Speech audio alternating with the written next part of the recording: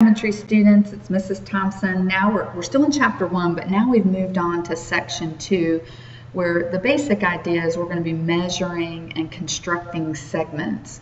I'm not going to be able to construct segments on our videos. I'm limited by um, the technology I have. I, I would do it better here in the classroom, so that's not going to be necessarily this first example, but um, later on in the in the section and possibly even this chapter.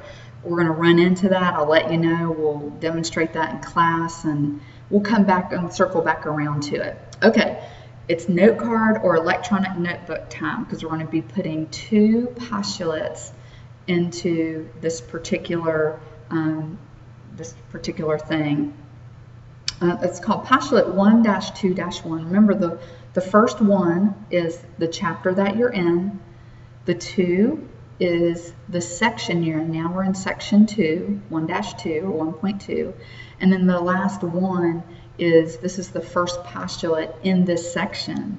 Okay, remember in the last section, 1-1, we had five postulates numbered 1, 2, 3, 4, 5. Okay, and now in this one we're going to have two of them. So postulate 1-2-1 the points on a line can be put into a one-to-one correspondence with the real numbers. In other words, if I created a line segment and um, made a number line, there would be numbers that correspond in sequential order with each of the points, is what it's saying. Um, it's very basic. It's almost like, why are we writing this down kind of thing, but it is a postulate. Now, the distance, this is where I want you to focus your attention, okay? The distance between any two points is the absolute value of the difference of the coordinates. So whatever their value is, if you subtract the value of, of each point that you're finding and take the absolute value of it, that's how far it is. We take the absolute value because we're looking for distance. Distance is always positive.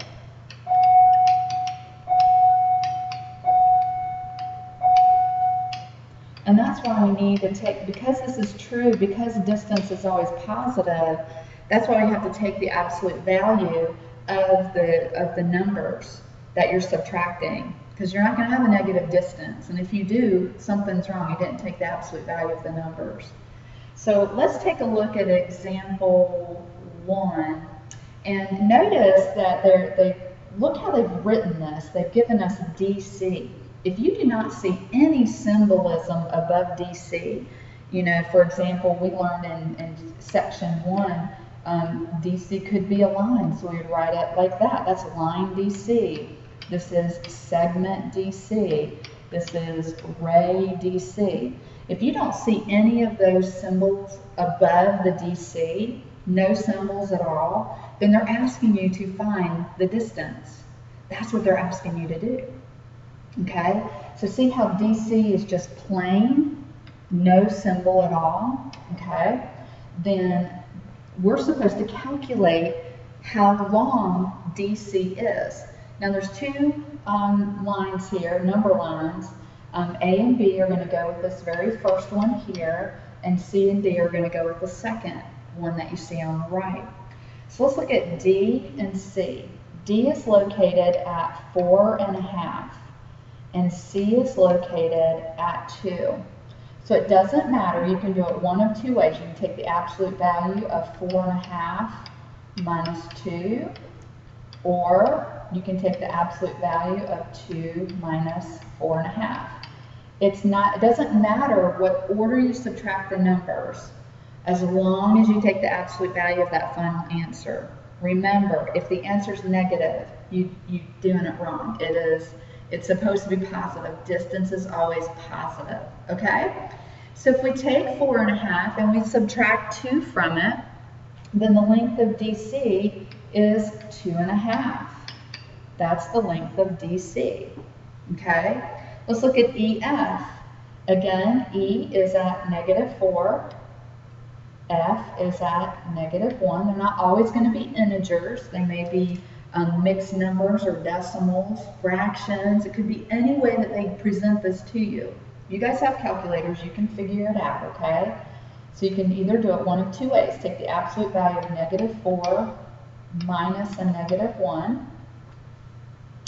Or you can do it in the other direction, negative 1 minus a negative 4.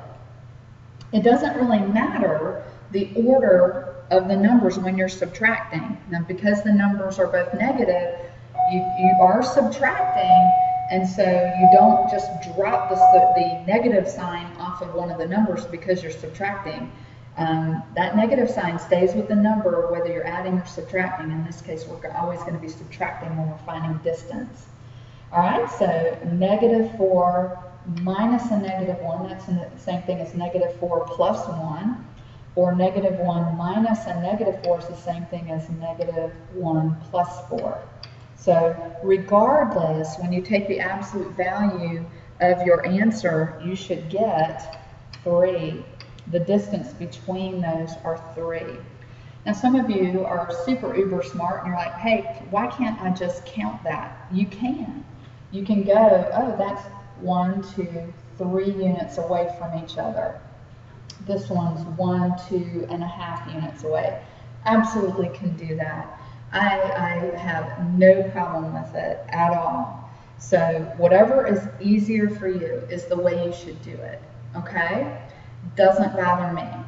All right, let's look at C and D. I'm actually going to leave these for you. So this will be extra credit. I'll give you plus one for each one that you do. You are finding the distance, so you can either do your subtraction, take your absolute value, or you can count it on the number line like I just showed you. All right, everybody good? You know what to do? All right, we'll talk about it in class tomorrow.